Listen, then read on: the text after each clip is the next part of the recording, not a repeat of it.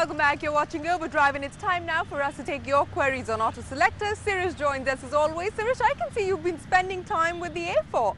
Well, as you can see, this is the same A4. There's no external difference. What it does have is a new engine. It's a 3-liter V6 TDI diesel engine. It makes 240 horsepower and it's got Quattro 4-wheel drive. If you remember, the A4 currently is only available with a front-wheel drive option and a 2-liter diesel engine. Now, this has got much more power. It's 240 horsepower and it gives it a 0 to 100 time of under 7 seconds.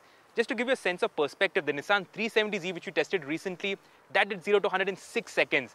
This does it in hardly a second more. And this is a proper four-door, four-seat saloon. And imagine the performance potential of this car. It's time now for us to take our first query. This one comes in to us from Padmanabhan. He writes in from Bangalore.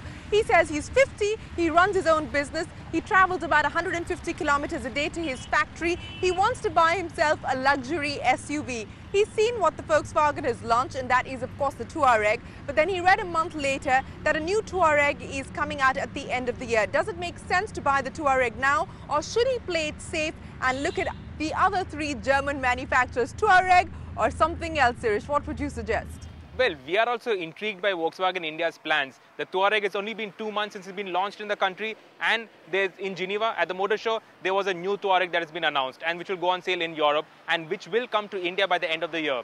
So to be honest, it doesn't really make sense buying a Touareg because there's a new one coming towards the end of the year. And when you compare it to the competition, the M-Class, the Q7, the BMW X5, those vehicles, those SUVs are superior to the Touareg in most respects in terms of uh, refinement, in terms of comfort, even in terms of styling and that premium badge that they have. So honestly, I wouldn't really suggest a Touareg, at least not right now, at least not till the new Touareg comes towards the end of the year. All right, our next query comes into us from Madhav. He writes in from Pune. And Sirish, this is the query that we keep getting from a lot of our viewers. Madhav says he currently owns an i10. It's done over 100,000 kilometers. He wants an upgrade. He's got a family of five. So his priorities are good interior room, space for shopping bags, fuel efficiency, and of course, fun to drive factor. He's got a budget of about eight and a half lakh rupees. He wants to buy the Jazz, but his father is inclined towards the Honda City. So should he increase his budget, go for the Honda City, or should he go for the Jazz?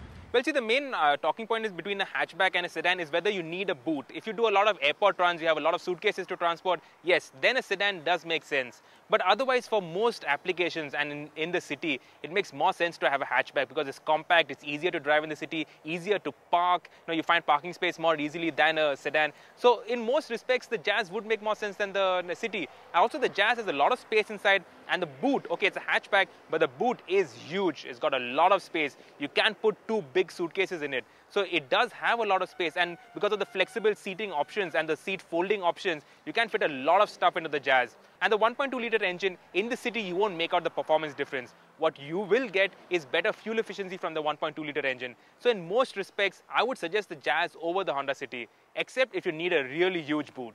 Well, that wraps up this episode's Auto Selector. Do remember to send us your queries to helpdesk at overdrive.co.in. You can also visit our Facebook page to see what's buzzing.